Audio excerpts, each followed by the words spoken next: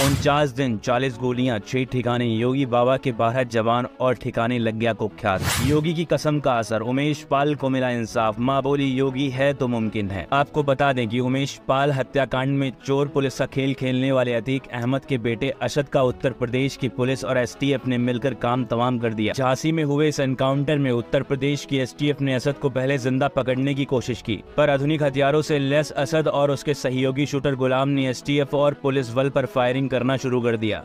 लगभग 35 से 40 round fire में उमेश पाल का हत्यारा अशद और गुलाम ढेर हो गया। फरवरी में उमेश पाल हत्याकांड में अशद का फायरिंग करते हुए सीसीटीवी फुटेज सामने आया था। इसके बाद से पुलिस उसके पीछे लग गई थी। शातिर असद भी लगातार अपने ठिकाने बदल रहा था। पुलिस इस हत्याकांड को अंजाम देने वालों में शामिल असद की कार के ड्राइवर अरबाज और शूटर विजय चौधरी उर्फ़ उस्मान को पहले ही हिल्ले से लगा चुकी है।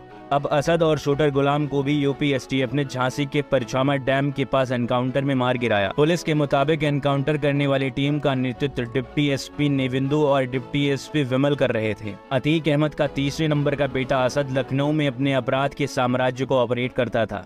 जानकारी के मुताबिक असद कानून की पढ़ाई के लिए विदेश जाना चाहता था, लेकिन उसका पासपोर्ट क्लियर नहीं हुआ। असद लखनऊ में रहकर एलएलबी की पढ़ाई कर रहा था, साथ ही साथ अपने पिता के काले धंधों को भी संभाल रहा था।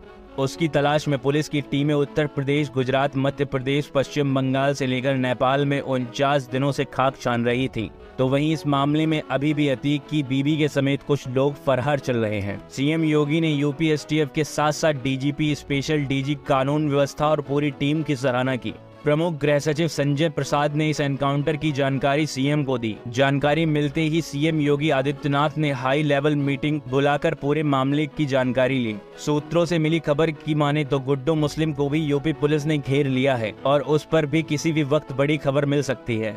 न जाने कितनी माओ के बेटों की जान लेने वाले अतीक ने जब अपने बेटे की मौत की खबर सुनी तो फूट फूट कर रोने लगा और चक्कर खाकर गिर गया। उत्तर प्रदेश के डिप्टी सीएम ने इसे बहुत बड़ी कामयाबी मानी है और कहा है कि हत्यारों के साथ ऐसा ही अंजाम होना चाहिए। तंग का साम्राज्य खड़ा करने वाले अतीक अहमद के बारे में डीजी लॉ एंड ऑर्डर ने बहुत बड़ा खुलासा किया है। उन्होंने कहा है की अशद अतीक अहमद को छुड़ाने के लिए उसके काफिले पर भी हमला करने की साजिश कर रहा था। बता दें कि साबरमती जेल से लाते वक्त झांसी के आसपास पुलिस के काफिले को कुछ संदिग्धों की सूचना मिली, जो कि अतीक अहमद के समर्थक थे और वे अतीक अहमद के काफिले को झांसी से पार होने का इंतज़ार कर रहे थे।